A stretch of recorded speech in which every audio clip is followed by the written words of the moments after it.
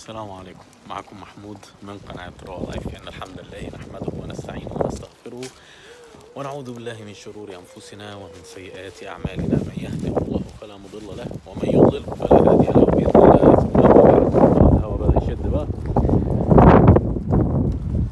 على فكرة يعني ال- اللي عايش في تركيا اللي عايش في روسيا اللي عايش في أوكرانيا أيام ما كان في أوكرانيا يعني. آه، اللي عايش في مصر. الأربع دول دول أعتقد إن دول أحسن دول ممكن تعيش فيهم. إذا ما كانش على مستوى العالم طب على الأقل على مستوى المنطقة. طب في ناس يقولك طب ودبي؟ أنت نسيت دبي؟ ما نسيتهاش. بس دبي هتفضل دبي. يعني إيه هتفضل دبي؟ حلوة على قدها.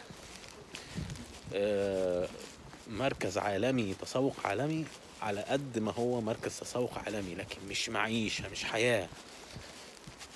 مركز business بس على قد مركز business أو business center. فهو ده ال- البعد اللي أنا بتكلم فيه. حياة. عايز حياة ناس معيشة تخطط لحياتك سنين وت- وتحقق أهداف و... وتستمتع بالأهداف دي بعد كده يبقى الخيار مصر أوكرانيا تركيا. المفروض نقول اوكراينا يعني الصح إنها اوكراينا اوكراينا وروسيا ومصر وتركيا. يعني الدول دي هي اللي فعلا من وجهة نظري فيها حياة فيها شعب فيها حضارة فيها حاجة تراكمية. شعوب أوروبا جميلة بلاد أوروبا جميلة أمريكا رائعة ولكن مش حياة. ديناميكي- دي- ديناميكية الحياة ما فيهاش آه، لا عبق التاريخ ولا التراث الحضاري للشعب.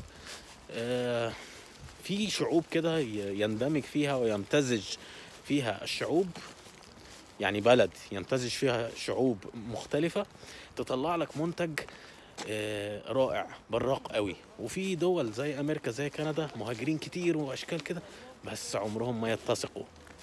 الكيان, برضو في إسرائيل ناس جاية من أنحاء العالم مش عارفين يندمجوا مش مطلعين المنتج ال- اللي هو. لكن روسيا فيها نماذج شعوب مختلفة ممتزجة. مصر نفس الكلام تركيا نفس الكلام أوكرانيا نفس الكلام. أوكرانيا ده برضو في مزيج يمكن ناس كتيرة ما تعرفوش هبقى أحكي لكم عليه في آه، حلقة لاحقة إن شاء الله.